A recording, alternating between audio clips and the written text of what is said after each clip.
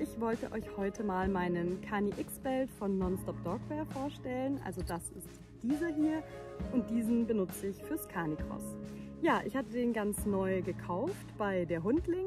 Solltet ihr auch noch einen Gürtel brauchen, dann könnt ihr mit Manolo 15 noch 15% Neukundenrabatt bekommen, wenn ihr euch auch noch so einen Gürtel zulegen wollt oder müsst.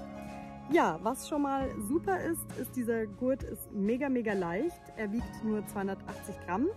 Alles, was hier so dran ist an Metall, ist Alu, also super leicht. Und ja, es gibt den in verschiedenen Größen. Ihr könnt im Internet eine Tabelle finden und dann findet ihr für euch die richtige Größe. Ähm, die Größe S ist nur für Kinder oder sehr, sehr schmale kleine Personen geeignet. Somit habe ich die Größe ähm, M gewählt.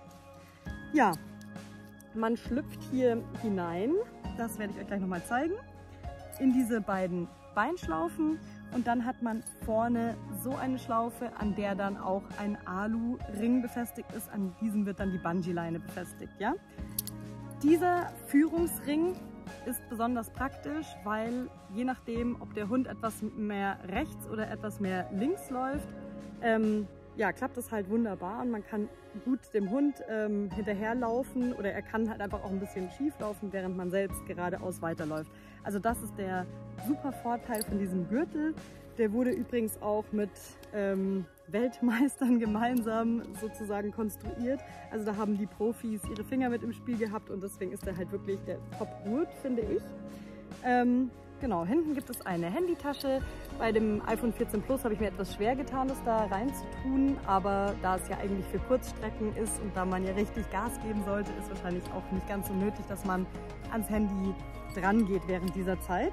Aber man könnte Schlüssel oder irgendwas kleineres hier hinten verstauen.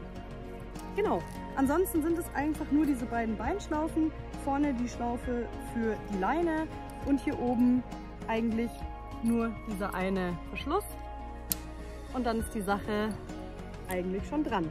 Ja, äh, wie gesagt 280 Gramm, mega leicht ähm, und es ist total cool, also wenn der Hund ähm, zieht, hat man wirklich so ein bisschen das Gefühl, das war eine Fliege, ähm, hat man wirklich so ein bisschen das Gefühl, als hätte man einen Skilift, also diesen ähm, Schlepplift beim Skifahren hinten am Po und das schiebt einen so richtig vorwärts. Also es ist mega das coole Gefühl beim Laufen und gibt einen, einen mega Schub nach vorne. Ja, man kann diesen Gurt natürlich nicht nur fürs Canicross verwenden, sondern auch fürs Skifahren oder fürs Hiking. Er ist natürlich im Ursprung fürs Canicross erfunden worden ähm, oder äh, designt worden, somit ist er natürlich am optimalsten fürs Canicross.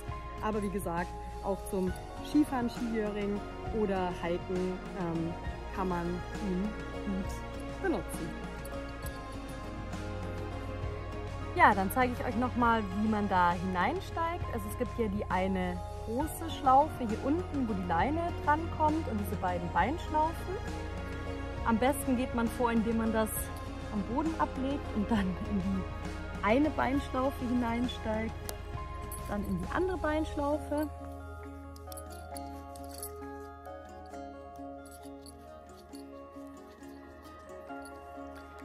Dann zieht man das Ganze nach oben. Ja, wenn man das Ganze dann oben hochgezogen hat, macht man eigentlich nur noch diese Schnalle hier zu und kann die hier entsprechend dann fester machen. Und dann liegen die Beinschlaufen hier an. Diese kann man auch lockerer oder fester einstellen. Ich habe die immer gern so ein bisschen fester.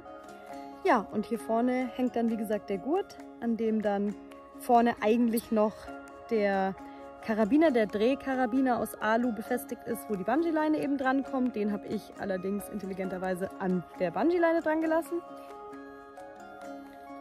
So sieht das dann von der Seite aus. Hier oben ist der eine Gurt, ungefähr auf der Hüfte.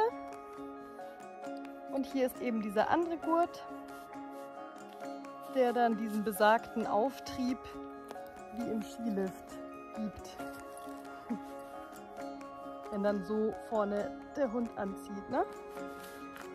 Und hier nochmal zu sehen die Tasche.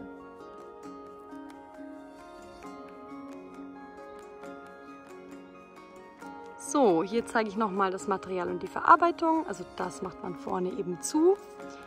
Das ist der obere Gurt. Das ist so ein durchsichtiger Meshstoff, sehr atmungsaktiv und somit ist es für jede Temperatur geeignet.